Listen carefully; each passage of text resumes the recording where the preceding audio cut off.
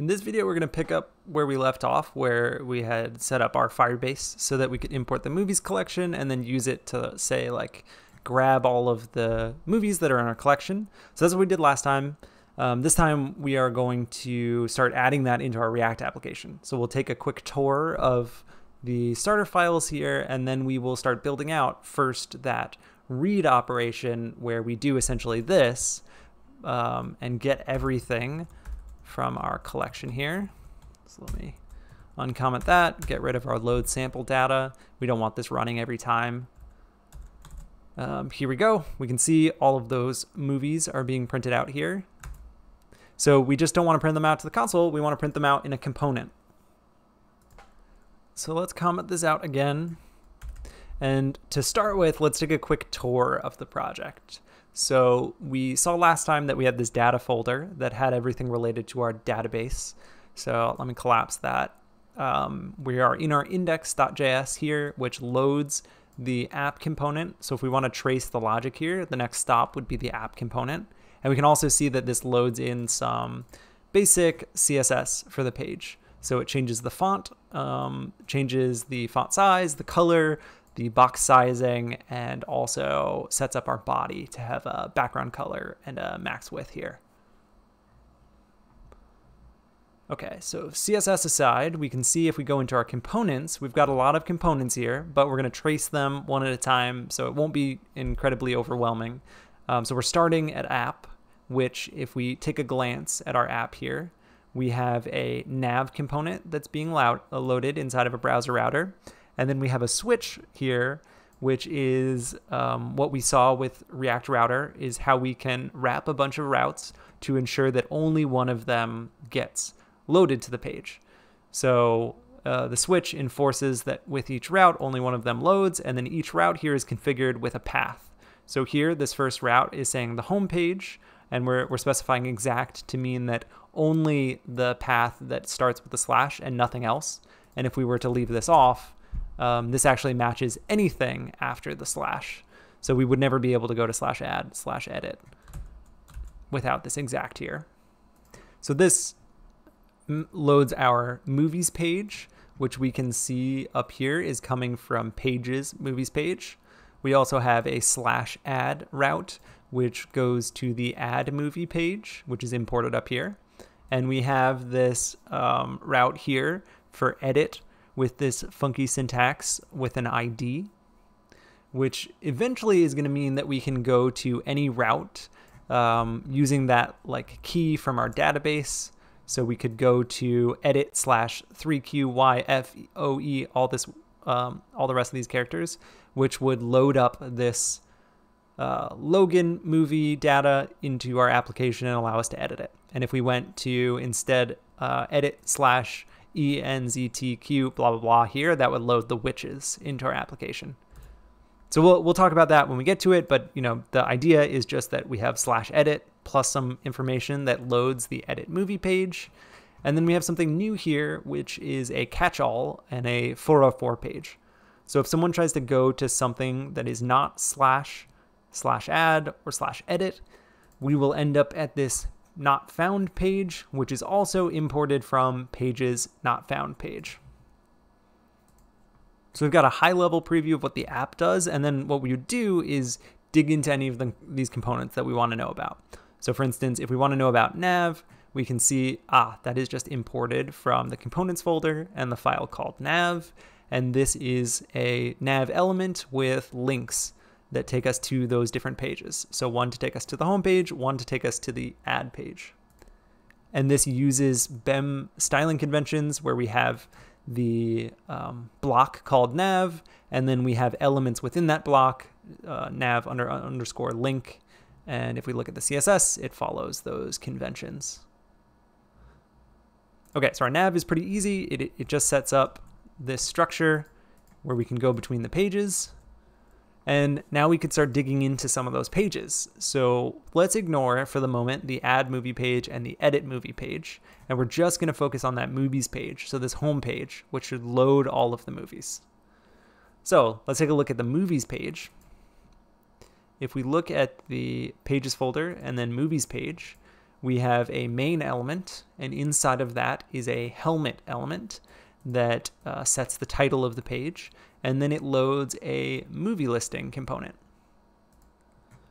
So this helmet stuff was extra credit from CodeSprint A, so it's an optional video. So a quick explanation is that what this allows us to do is use this library, React Helmet, to change the title uh, of our page dynamically. So normally the title is something that you would set um, in your index.html here, like in the head tag. But when we're working in React, we are putting elements on the page. We're not modifying the head tag. So if we want to modify the head tag, um, we can use React Helmet to replace this title that's in here. So if we look, uh, when I click on all movies, the title changes up here in the title bar and add movie changes to add. So some of the structure that I like to use in projects is that when we have pages and we're doing this like stuff, like setting up the helmet, um, I'm going to do that in the pages folder here where I'm setting up components that import helmet and set the title. So my add movie page sets the title to add, edit sets it to edit, movies page sets it to movies. Um, our 404 changes to not found and loads a paragraph tag. Actually, we didn't see this when we were looking at the app, but let's try that. So if I type in a bunch of gibberish, we end up at no no such page exists. And you could go ahead and you know improve the style here, but that's a, a basic way to set up a 404 Let's go back to the main page. Um, so I, I like to set up my page level components to handle setting up the title. And then these page components, try and keep them trim, like our movies page here. And all of the um, work of actually rendering things to the page happens in the movie listing component. So this allows us to kind of separate our concerns so that our movie listing component can just focus on rendering movies to the page and doesn't have to think about, you know, setting up the helmet. Okay, so we've got our movies page, which loads our movie listing component, which we can see is in components movie listing. So let's go in there to movielisting.js.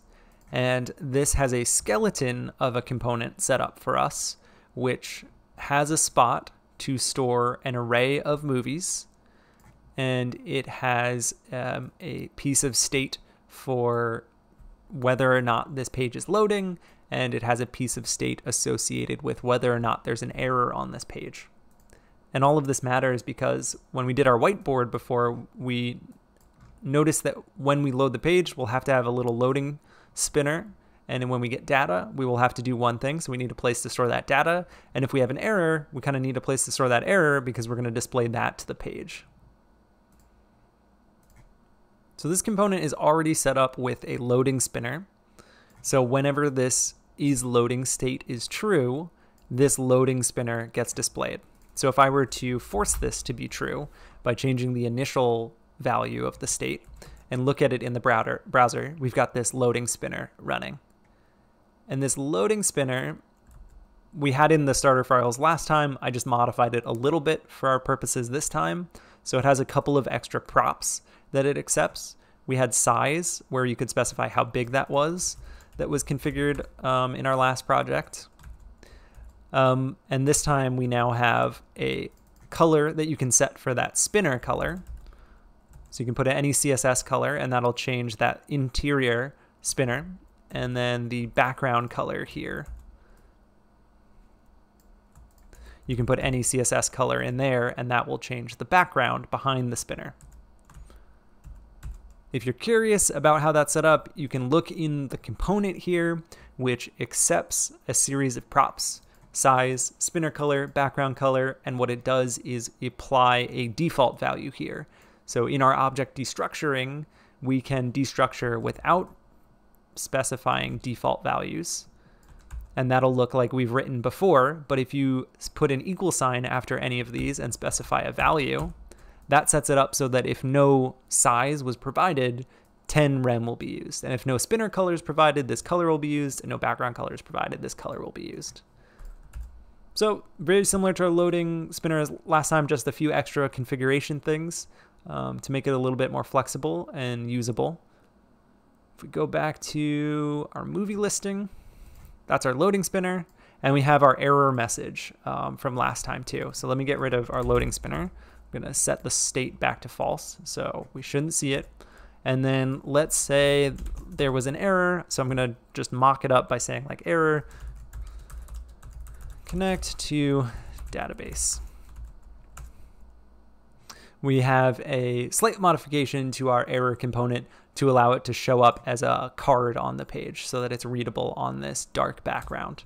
So same deal, if you're curious about that, you can dig into the error message component, which has a few extra configuration um, options. So the props it accepts are up here. Um, so it takes a Boolean display as props or display as card prop. So if you pass in true, this will display it with that card background. If you um, leave that as false, it will display it without. So if we go back to movie listing and this, we remove this prop and save it, it will display it without that background. So this will be make it uh, this will make this component more useful so that we can use it on pages where we want to display an error at the top in a card and pages where we actually want to display an error within like say a form here. Okay, let me get rid of that error message and let's get cracking here. So we've got things back to the default state where what we want to do is run this logic that um, we were doing here where we ran an async function talked to the movies collection, tried to grab all of the docs, and then use those docs. Um, but we want to do that inside of our movie listing component. The added wrinkle here is that we don't actually just want to do the fetching right here.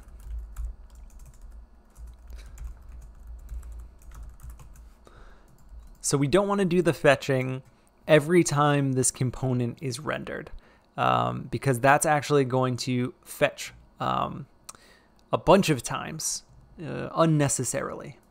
So pretend for a minute that this logic that we've got here is actually all of this logic um, where we ran our async function to get all of the movies. And if we look at our movie listing um, in the browser here, every time we see the word fetching means that we would have gone to talk to the database and pull new data.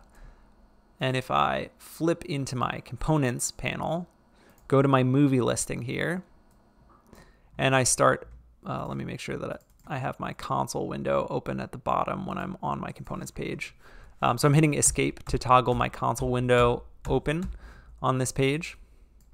So anytime I change my state, a new fetch would start. So when the loading flips to true, when it flips back to false, our fetching would run again and again. And actually, this would lead to infinite fetching um, because presumably our fetch, when we start it, would need to change the state to say that now it's time to load and display that loading spinner. So it would be very bad for us to do that fetching here. What we actually want to express is like, we, we kind of want to tell React, like, you know, only fetch when this component is loaded on the page for the first time, because that's the time when we need to go talk to the database and pull things down. But don't, you know, refetch every time the state changes. And that's where I have a couple of links here for a new hook that we're going to use.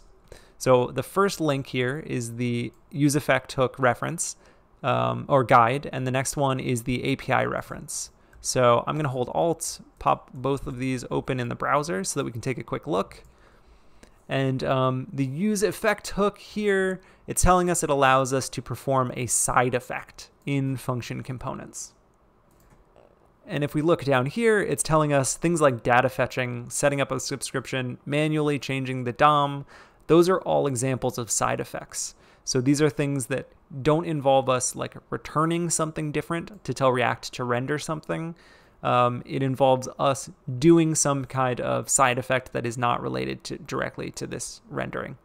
And you can see an example here. So this is a example that changes the title of the document um, every time this button is clicked. So the way use effect is being run here is that uh, when this component renders, it sets up a count. So it has some state here. It puts that on the page. So you clicked however many times and it sets up a button that goes ahead and increments that count by one. So if you load the page, it would say you clicked zero times. Every time we click, that would go up. So click three times, we would see you clicked three times. Um, this use effect runs after the page has been rendered. So after you know this has been rendered the first time, we get the title being changed in the um, title of the tab. Um, and the way the use effect here is being used is that every time this is re-rendered, the effect runs um, fresh. But with use effect and a slight modification, we can get it to set up uh, to run um, only when the component is put onto the page for the first time.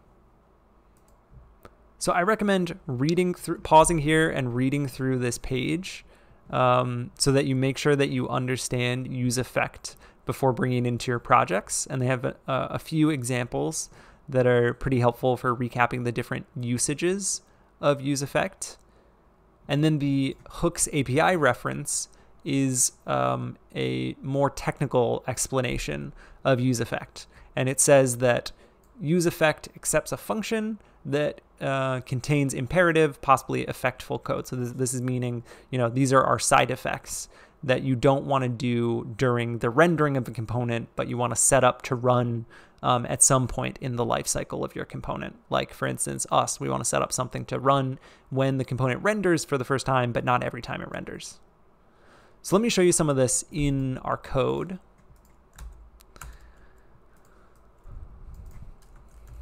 Uh, we are going to use effect, and here I'm going to hit tab on this to auto import use effect and put an arrow function in it.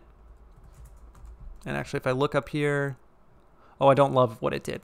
so uh, it actually added a second import here from React, and I would like to keep all of mine nice and tidy. So I'm going to fix this and type in use effect up here.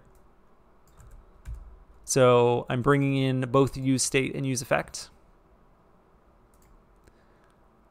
And this version of use effect is actually going to function the same way as our previous logic. Uh, it, it, has a subtle difference, but we'll, we won't be too worried about that subtle difference. Um, here, console.log, if I pop open my console, it runs when our component renders for the first time. And also runs anytime the state changes. So fetching ran again. The difference, the subtle difference is that, you know, this actually happens after all of our component has been rendered. Um, so it doesn't block any of the component from being rendered. You know, if this were a really expensive operation, it wouldn't lock up that rendering thread. Um, but we can make a small modification to our use effect here that will make it so that it only runs when the component actually mounts or is displayed.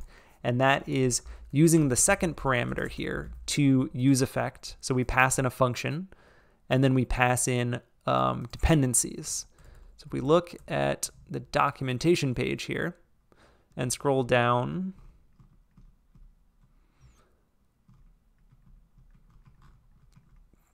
here is our sort of documentation on how to conditionally fire an effect. Um, and it's telling us the default behavior is effects should fire after every render, but if you take our second parameter here and pass in some specific variables, it tracks those and will only run this effect when those variables have changed. And if you specify no variables, what that means is only run this effect when the component is loaded for the first time on the page.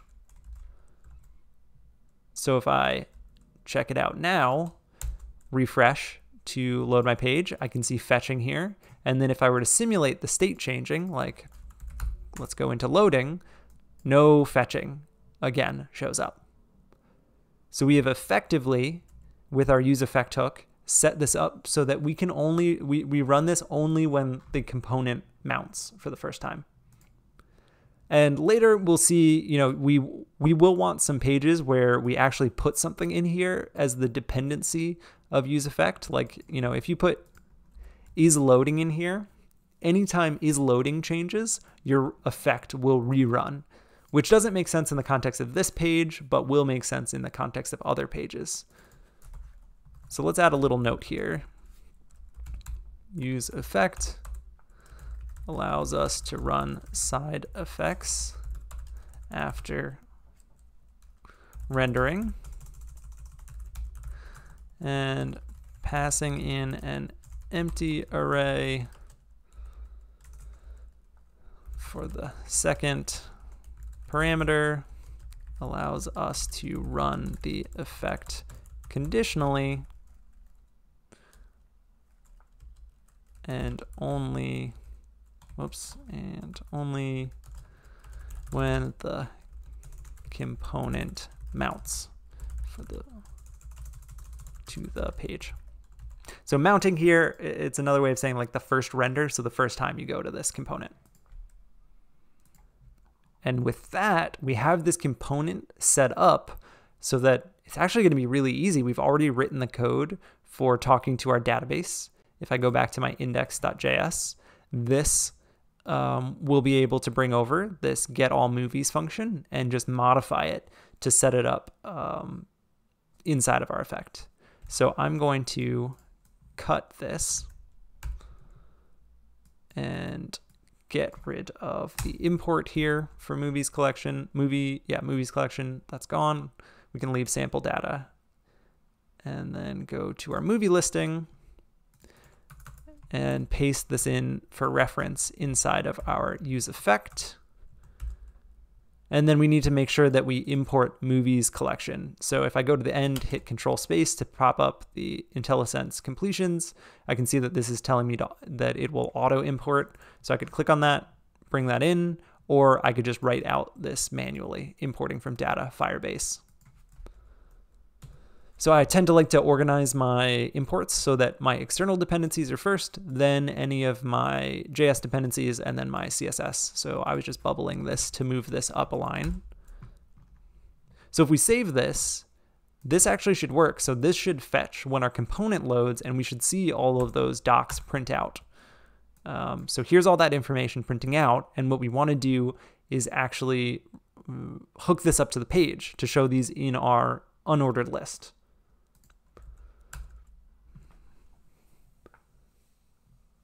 So it's helpful to review um, what's going on here before we actually move forward, just to make sure that we, we have a rock solid understanding of Firebase. So inside of Firebase, you're, you're often going to be talking to either a document reference or a collection reference. And movies collection, if I fly over to my Firebase file, we saw that that is talking to our database and pulling our movies collection. So this gives us a reference to our movies collection. And then as we saw in our um, read data page for getting data, and we went over here to get all documents in a collection. If you have that collection reference, you call .get, it gives you back a promise that turns into a snapshot of all of the uh, of that collection. And it's also helpful, I'm going to pull up the API reference and go to the web version. So I'm going to hop that over to a new tab. And this is our technical reference for um, all of the classes and objects that are involved in the Firebase library. So if we want to see what db.collection gives us, what we look at is our Firestore and look at the collection method. And that tells us it returns so when you call collection and you pass in the path as a string, it returns a collection reference that points to document data. So if I click on collection reference, I can see what is involved in this um, object that we've got. So with a collection reference, we can call .add to put something new in there. We can call .doc to get a reference to a specific doc, and we can also call .get to um, get a snapshot of everything that's in there. So dot .get, we can see that there are options that we can pass in, and the question mark here means that those are optional. And if we look at our code, here's our collection reference. dot .get, we didn't pass anything in there, though we could have. Um, this returns a promise that resolves to uh, whatever's in the um, less than greater than sign here, a query snapshot. Uh, or a query snapshot. So this promise gives us back a query snapshot. So this side of the equation is a promise. When we await it, we get what it resolves to here. So we've got a snapshot. And with a snapshot in hand, we can see, you know, is that snapshot empty? What's the size of the snapshot? We can run a for each on that snapshot to loop over all of the documents, or we can call the docs property, which gives us back an array of uh, query document snapshots. So that's what we're doing here, where we have our uh, array of all of the documents, which allowed us to loop over them. And we were able to, for instance, read the ID of the document and read the data of the document. So again, we kind of have to hop around the documentation here. We know that we've got an array, so when we're looping over it, each element is a query document snapshot. And so that allowed us to read the ID um, and allowed us to call the data method, which what that does is retrieve all of the methods in the document as an object. So we're going to need to do these, um, this ID and pull the data, but we don't really want to do it here. We, we want to pull that data and use it down here in our unordered list. So what we want to do is instead of printing this out here, we actually want to start hooking up this component to our state.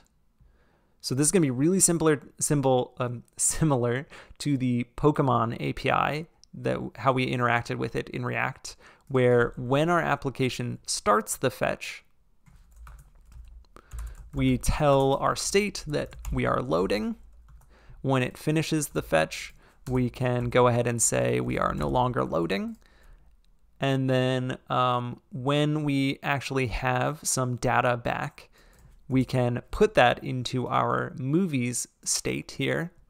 So we can say set movies to our docs. And then we also want to make sure that we uh, catch these errors and display something to the user. So when we catch our errors that happen, we can say set error message. And in terms of the error message that we want to display to the user, we probably want to display something generic like there was a problem loading your movie ratings. Please try again later. Or I guess we could just say, please try again.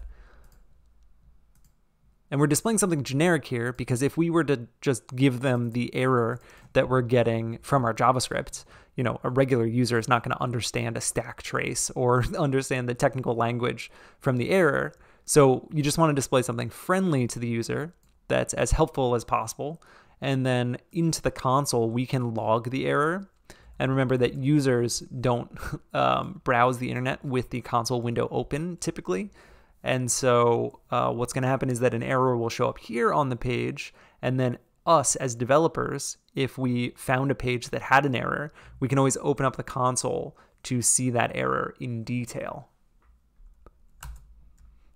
Okay, so we've got our generic error message, and then we, um, let me change this to a console.error, um, which has a little bit better formatting in the console for errors.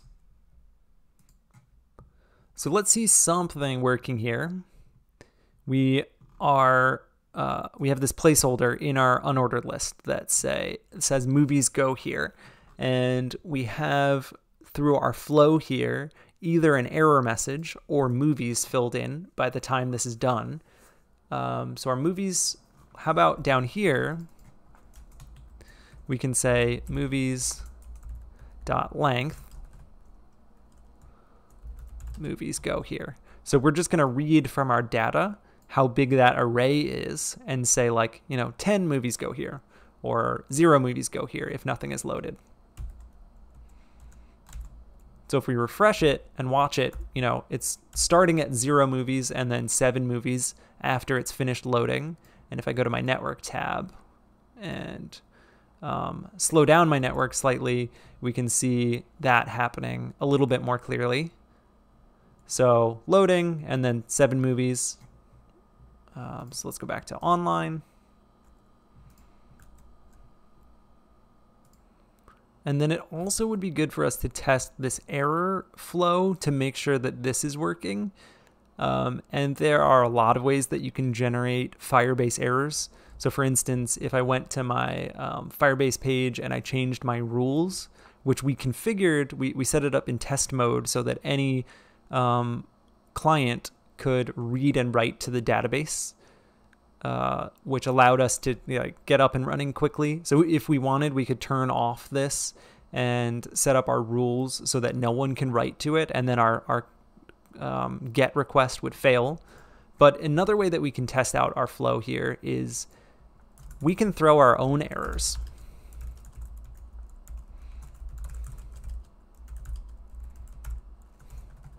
So the, the throw command, you can pass into it a string or a new error instance in this syntax where you put the message in uh, between the parentheses. And what this does is when we get to this line of code, an error is thrown and we end up catching it down here. So this allows us to kind of short circuit our logic to watch what would happen if an error came from um, our Firebase logic.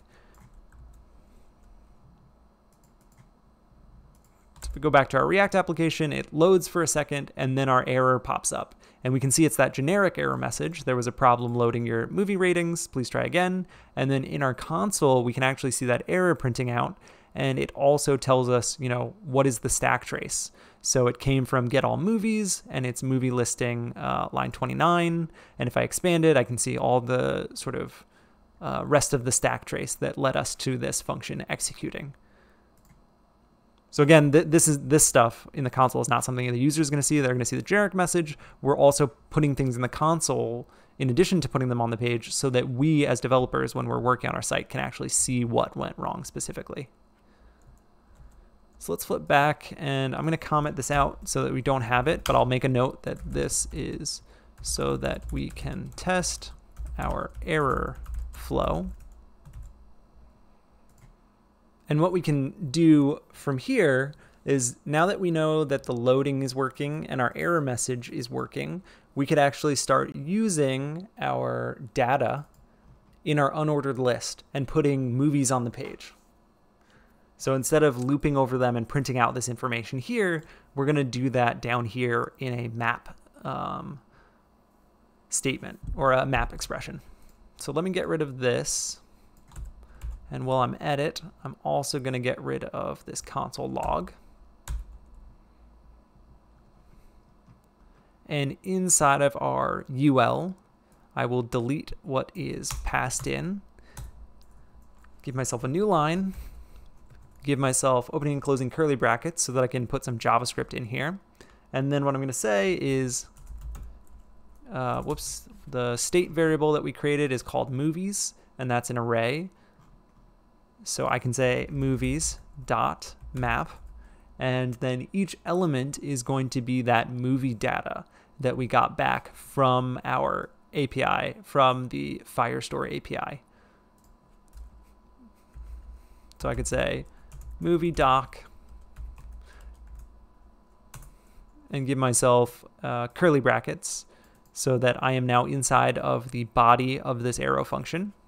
So this arrow function needs to return some list items. So let, let me just say like dummy here. So what we should see with this version is that we got an unordered list and it puts on to the page a placeholder list element for all of the movies that should be there. And what we can start doing is pulling out that information from our doc. So as you're working, make sure you have the API documents open and you you know which piece of the Firebase API you're or the Firestore API you're dealing with at any moment. So what we saw was that we had a document snapshot.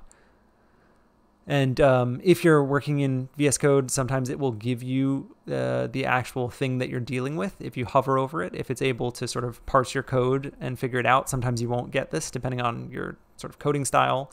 Um, here we're getting it. So it's telling us that snapshot is a query snapshot, and the docs property here is an array of query document query document snapshots. So I want to pull up my documentation and I still have the query document snapshot open from last time, but we can see it has an ID exists. It also gives us a ref and has the data method, which returns all of the fields in the document as an object. So we're going to want that ID, the unique identifier for the document. We'll be able to use that as our key um, on our list elements. And then we also want that data so that we can, you know, pull out the title and rating and release here.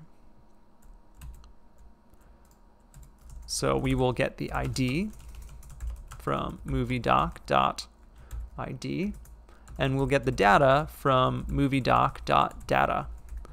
And the way that we know that this um, is not a function that needs to be called and this is a function is whether it is listed under the method section, which data is, or the properties section, which ID is. So properties are just pieces of data that live inside of an object, and methods are functions that live inside of an object. Okay, so we've got our ID, which we can pass in here for our key. And then instead of saying dummy, let, let us grab the data dot title. So we're going to grab the movie title and, you know, why not? Let's also put the ID on there. So we will say the ID is um, this title. And actually, it's going to complain at me if I do that. So I'm just going to use a dash here.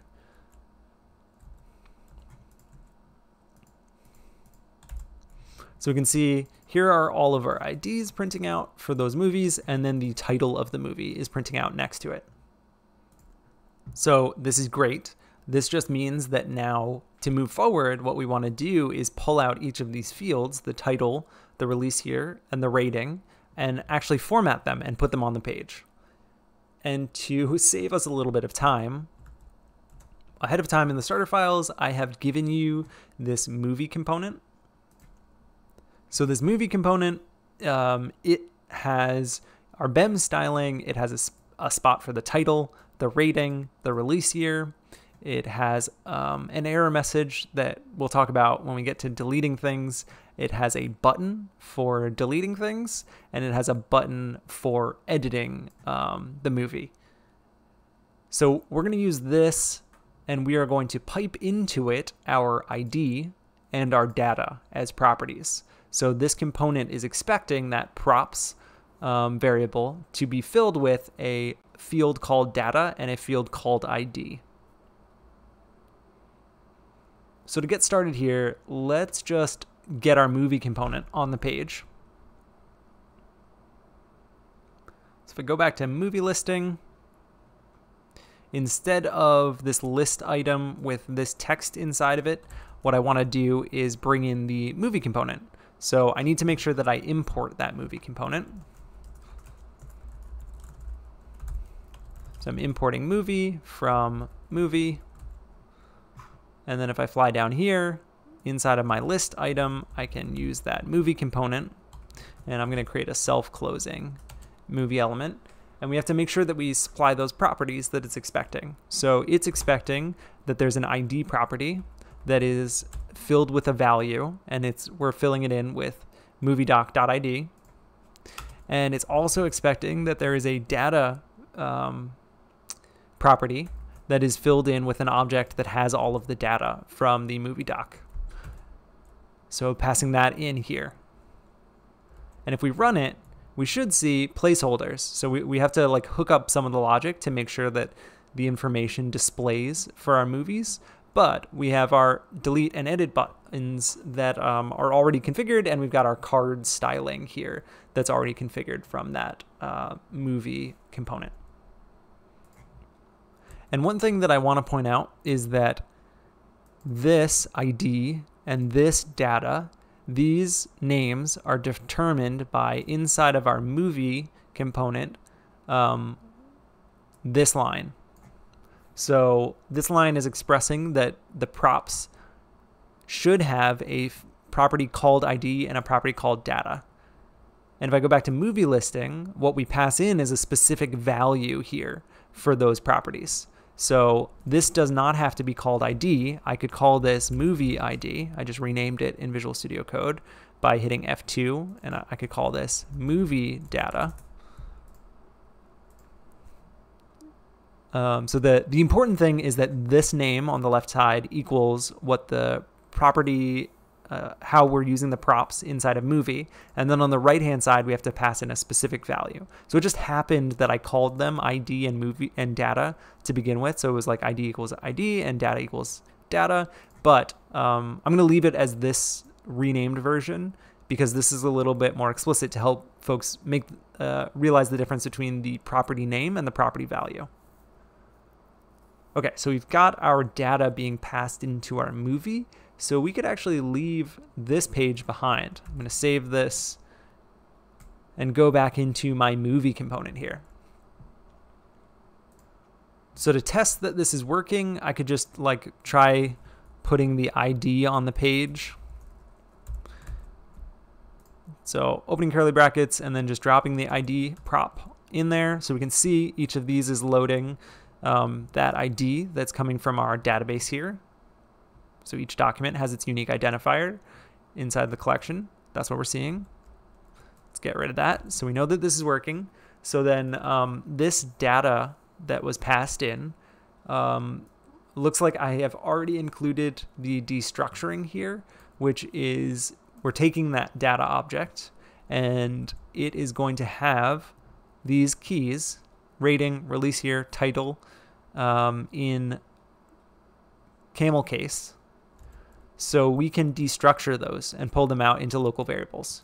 So as long as I type in title and it matches the spelling and casing from our database, it will work. But if I put in capital T, this won't work.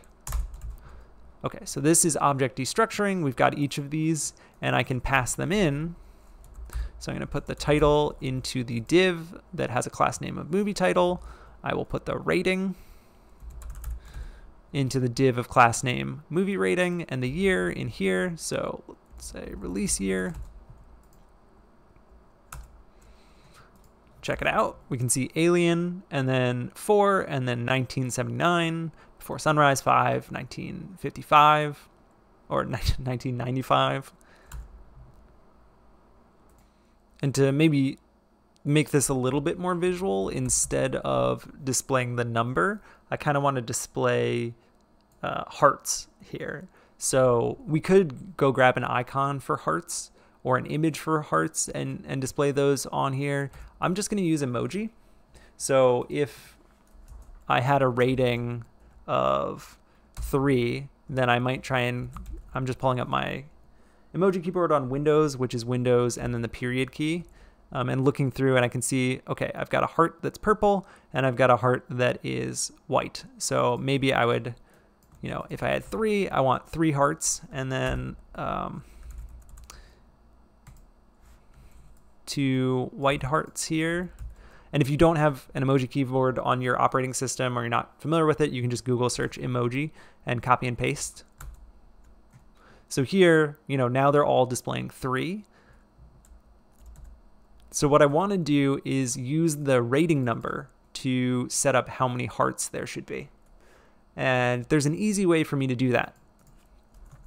So I'm going to create a, whoops, const rating string. And if you have a string, put a heart in here, and then you call dot repeat on it, you can pass in a number, and that is going to take what you have given it that's already in that string and repeat it and give you back a new string. So if I said repeat three times, and use this rating string down here. All of them should have three purple hearts and nothing else. So if I repeat by rating, we should see hearts that match whatever the rating is. And then to get the um, white hearts, I'm going to grab my white heart emoji, and then I want to repeat this 5 minus the rating.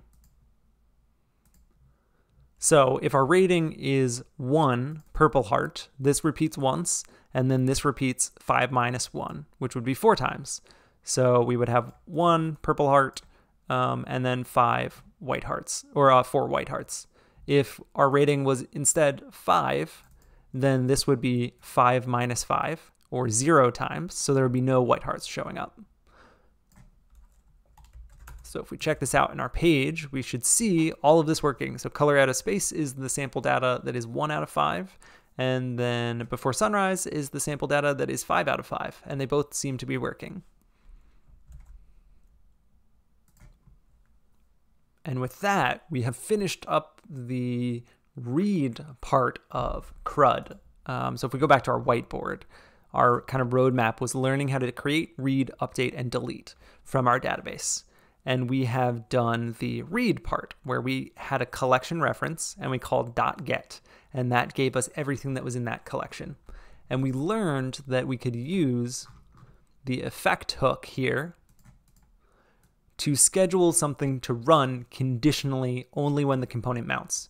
So the way that we ran this, we set up our uh, fetch operation inside of an async function here and call it inside of our effect and use an empty array of dependencies here to say that this effect should only run when our component is mounted, when it's put it on the page. So our logic inside of here is all Firebase and the use effect is how we are kind of stitching this together into our React so that this Firebase logic runs at the right time in our lifecycle. So I'm going to leave this video here. We will pick up in the next video diving into more of these CRUD operations. And um, we will, I'll, I'll just throw it out there, that at a certain point, we're going to come back to this effect and we are going to change it so that instead of just fetching once, um, it is constantly notified about every time something changes in our uh, database.